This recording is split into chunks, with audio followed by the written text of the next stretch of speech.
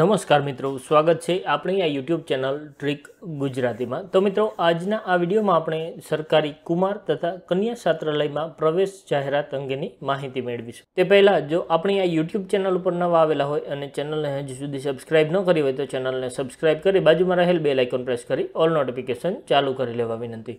જેથી કરી આપણી ચેનલ ઉપર જ્યારે પણ નવી માહિતી મૂકવામાં આવે, ત્યારે તે માહિતીના વિડીયોનું નોટિફિકેશન તમારા મોબાઈલ ઉપર મળી જાય. તો ચાલો શરૂ કરીએ આજનો આપણો આ ટોપિક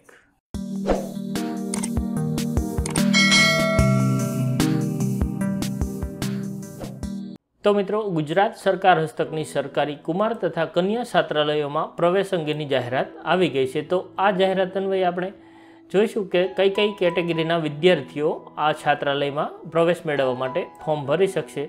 અને આ જે છાત્રાલય છે તેમાં રહેવા તથા જમવાની જે સુવિધા છે તે એકદમ મફતમાં આપવામાં આવશે. તો સંપૂર્ણ માહિતી મેળવવા માટે આ વિડીયોને છેલ્લે સુધી જોતા રહેજો. જેથી કરી અને કુમાર કન્યા છાત્રાલયમાં પ્રવેશ અંગેની જે જાહેરાત છે તેના વિશેની સંપૂર્ણ માહિતી તમને ખ્યાલ આવી જાય. તો ચાલો હવે આપણે જાહેરાતની વિગતો જોતા જઈએ. તો મિત્રો, સામાજિક ન્યાય અને અધિકારિતા વિભાગ, નિયામક શ્રી વિકસતી જાતિ કલ્યાણ ગુજરાત રાજ્ય ગાંધીનગર દ્વારા આ જાહેરાત આપવામાં આવેલી છે. જે અંતર્ગત સરકારી કુમાર કન્યા છાત્રાલયોમાં વિનામૂલ્યે પ્રવેશ મેળવવા અંગેની ઓનલાઈન અરજીઓ મેળવવા અંગેની જાહેરાત વર્ષ બે હજાર બાવીસ ત્રેવીસ માટે આપવામાં આવેલી છે. જેની વિગતમાં આપણે જોઈએ કે સામાજિક અને શૈક્ષણિક રીતે પછાત વર્ગો એટલે કે બક્ષી પંચ અને આર્થિક રીતે પછાત વર્ગોમાં medical, engineering, pharmacy, degree, diploma arts અને કોમર્સના સ્નાતક, અનુસ્નાતક તેમજ ધોરણ અગિયાર બારના તમામ પ્રવાહોમાં અભ્યાસ કરતા વિદ્યાર્થીઓને ઉચ્ચ શિક્ષણની પૂરતી તક આપવાના હેતુ માટે નિયામક વિકસતી જાતિ કલ્યાણ ગાંધીનગર દ્વારા સરકારી છાત્રાલયોની સવલત આપવામાં આવે છે. જે સરકારી છાત્રાલયોની યાદી E Samaj Kalyan dot Gujarat dot G O V dot in આ વેબસાઇટ ઉપર ઉપલબ્ધ છે.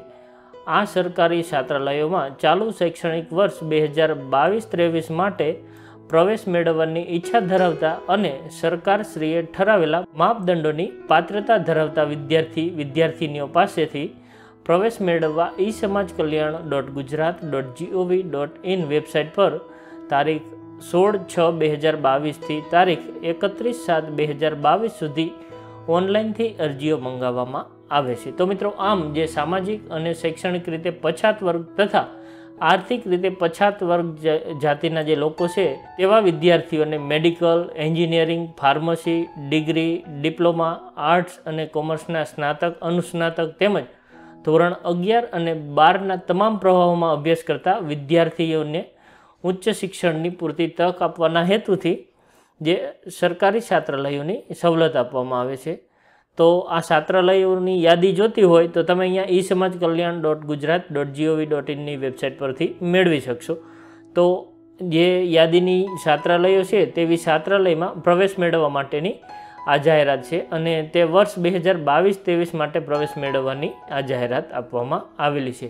અને આ જાહેરાત અન્વયે તારીખ સોળ છ બે હજાર બાવીસથી લઈ અને તારીખ એકત્રીસ સાત બે હજાર બાવીસ સુધીમાં ઓનલાઈન અરજી કરી શકાશે. તો મિત્રો, હવે આપણે તેની આગળની વિગતો જોતા જઈએ કે સરકારી છાત્રાલયમાં ફ્રેશ અને રિન્યુઅલ વિદ્યાર્થીઓએ પ્રવેશ મેળવવા માટેની અરજી ઓનલાઈન જ કરવાની રહેશે. અરજી સાથે જરૂરી પ્રમાણપત્રો પણ ઓનલાઈન જ અપલોડ કરવાના રહેશે. તો આમ આપણે આગળ જોઈ ગયા તે મુજબ જે ઈ સમાજ કલ્યાણની વેબસાઇટ છે, તે વેબસાઇટ પર અરજી ઓનલાઈન જ કરવાની છે અને ડોક્યુમેન્ટ પણ ઓનલાઈન જ અપલોડ કરવાના રહેશે. ત્યાર પછી ક્રમ નંબર બે છે. તો ક્રમ નંબર બેની વિગતમાં આપણે જોઈએ તો મિત્રો અહીંયા તમે ક્રમ નંબર બે જોઈ શકો છો કે પ્રવેશની અરજી કરનાર ફ્રેશ વિદ્યાર્થીઓએ વાર્ષિક પરીક્ષામાં સાઠ ટકા કે તેથી વધુ ગુણ અને રિન્યુઅલ વિદ્યાર્થીએ વાર્ષિક પરીક્ષામાં પચાસ ટકા કે તેથી વધુ ગુણ મેળવેલા હોવા જોઈશે. ત્યાર પછી આગળ આપણે ક્રમ નંબર ત્રણની વિગતો જોઈએ કે રિન્યુઅલ વિદ્યાર્થીએ ગત વર્ષની વાર્ષિક પરીક્ષાનું પરિણામ ન આવેલું હોય તો સેમિસ્ટર ત્રણ અને પાંચનું પરિણામ રજૂ કરવું પડશે, જે ધ્યાને લઈ અને છાત્રોને કામચલાઉ પ્રવેશ આપવામાં આવશે. અને ત્યારબાદ સેમિસ્ટર ચાર અને છનું પરિણામ નિયત કરવામાં આવેલ ગુણની ટકાવારી મુજબ હશે.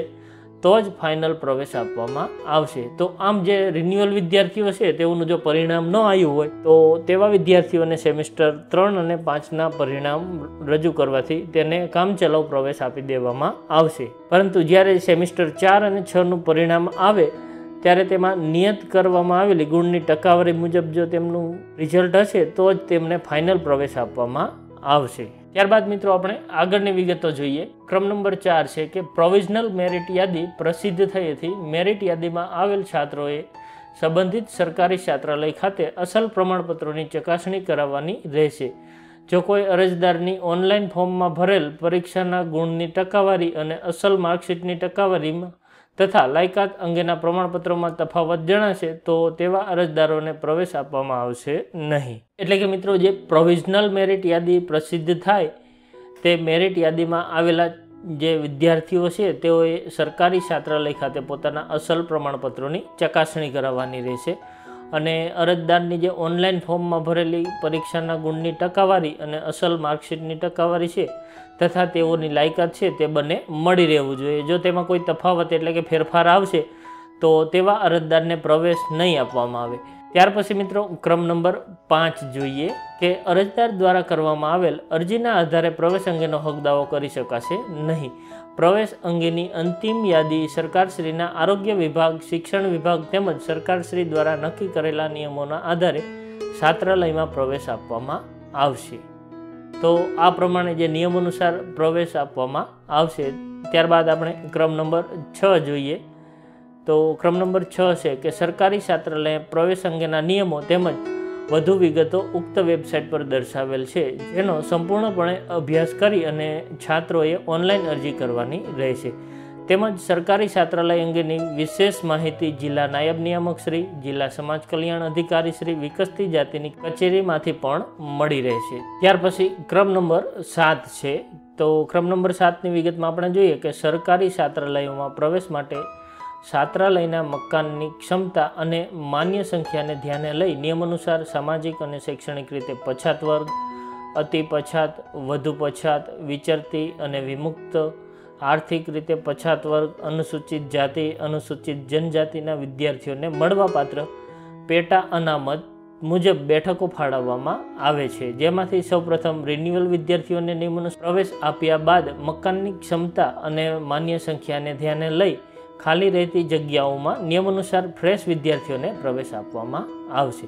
તો મિત્રો, આમ જે સરકારી છાત્રાલયો આવેલ છે, તે મકાનની ક્ષમતા અને માન્ય સંખ્યાને ધ્યાને લઈ સામાજિક અને શૈક્ષણિક રીતે પછાત વર્ગ, અતિ પછાત, વધુ પછાત, વિચરતી અને વિમુક્ત જાતિ, આર્થિક રીતે પછાત વર્ગ, અનુસૂચિત જાતિ, અનુસૂચિત જનજાતિના વિદ્યાર્થીઓને જે મળવાપાત્ર અનામત હોય તે અનામતને ધ્યાને લઈ અને પ્રથમ જે રિન્યુઅલ વિદ્યાર્થીઓ હોય તે તેમને પ્રવેશ આપવામાં આવશે અને ત્યાર પછી જ જે ફ્રેશર હોય એટલે કે ફ્રેશ વિદ્યાર્થીઓ હોય તેઓને પ્રવેશ આપવામાં આવશે.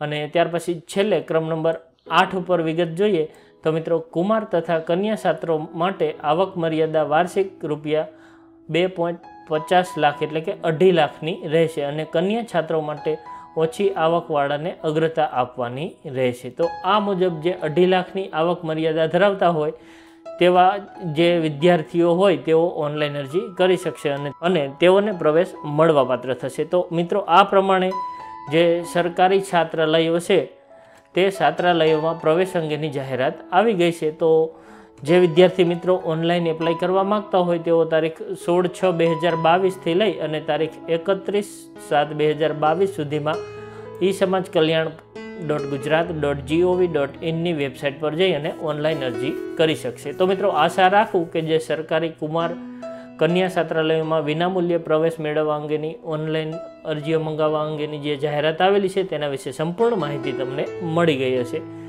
આ ઉપરાંત મિત્રો, જો ફોર્મ કેવી રીતે ભરવું તેનો ખ્યાલ ન હોય, તો નીચે કોમેન્ટ બોક્સમાં કોમેન્ટ કરજો, તો આપણે તેનો એક અલગથી વીડિયો બનાવી અને આપ સૌને માહિતગાર કરવા માટે પ્રયત્ન કરીશું. આ ઉપરાંત મિત્રો જમીન રેકર્ડ, દાખલાઓ, સરકારી યોજનાઓ, સરકારી ભરતી, આધાર કાર્ડ અને બીજી ઘણી બધી અન્ય ઉપયોગી માહિતી માટે આપણી વેબસાઇટ ટ્રીક ગુજરાતી ડોટ કોમની મુલાકાત લેતા રહેજો. સાથોસાથ આપણી ટેલિગ્રામ ચેનલ પણ છે, તો તમે અહીંયા ટેલિગ્રામ ચેનલની લિંક પણ જોઈ શકો છો. અથવા તો તમારા મોબાઈલમાં ટેલિગ્રામ ખોલી અને ટ્રીક ગુજરાતી સર્ચ કરશો, તો આ પ્રમાણેની ટેલિગ્રામની ચેનલ તમને જોવા મળી જશે. તો જો તમને ઉપયોગી લાગે, તો તમે ટેલિગ્રામ ચેનલમાં જોઈન થઈ શકો છો. અને જોઈન થવું એકદમ ફ્રી છે. તો મિત્રો, જો તમને મારો આ વીડિયો પસંદ આવ્યો હોય તો લાઇક કરજો, મિત્રો સાથે શેર કરજો, જરૂર જણાય તો કોમેન્ટ કરજો. અને હા, આપણી આ યુટ્યુબ ચેનલને સબસ્ક્રાઇબ કરવાનું ભૂલશો નહીં. ફરી મળીશું નવા વીડિયો સાથે. ત્યાં સુધી રજા લઉં. જય હિન્દ, વંદે માતરમ.